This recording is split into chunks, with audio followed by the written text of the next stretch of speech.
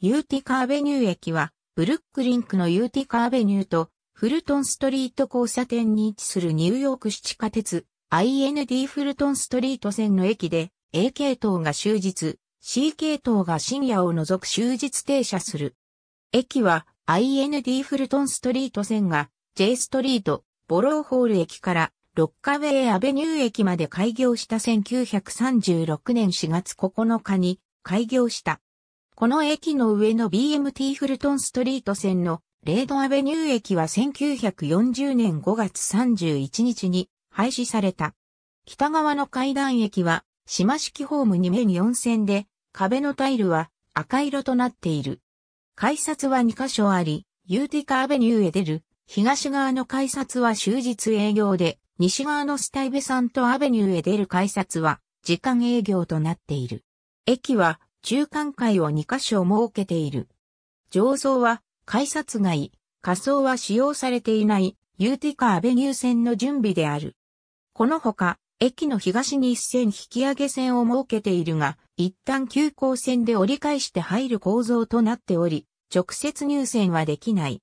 アートワークは1996年にジミー・ジェームズ・グリーンによって制作されたチルドレンズ・カテドラルがある。駅の中心は下り坂になり、駅の残りの部分と比較して天井が低くなる。これらはメザニンと未完成の上層階の駅の使用されていない部分である。線路は駅の4つの線路の上にある天井のパターンで輪郭が描かれている。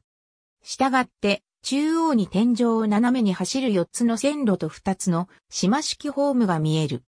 未完成の上層階は第2 IND 路線網の一部として、ユーティカアベニュー専用に建設された。駅の改修中に取り外された、ホーム階から上階への階段があった。中間階に登ると、未完成のホームへのアクセスとして機能する施錠されたドアがある。この階層にはいくつかの窓もある。窓を見ると、中間階の閉鎖された部分に一別ができないようにするための壁がある。入り口に向かってスロープを登ると多くの窓とドアがある。これらのドアは中間階のメザニンの未使用部分につながる階段がある上階の不使用部分へつながる。1995年にこの駅を改装する前に未完成の駅を中2階から見ることができた。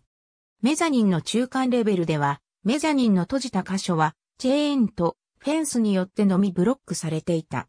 フェンスを過ぎるとドアのあるタイル張りの壁があった。ドアにはいくつかのパネルがなかった。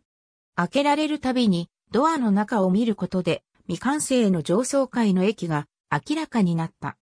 駅の1990年代の改修の後、中間層はコンクリートブロックの壁と中間階の現在のタイル張りを使用して短縮され、チェーンリンクフェンスとその背後にあるドアが隠れてしまった。エレベーター2014年5月にエレベーターが設置されて駅は ADA に準拠する駅になった。フルトンストリート上に4カ所で入り口がある。69のコーダに使用されるビデオに駅の改札が映っている。ありがとうございます。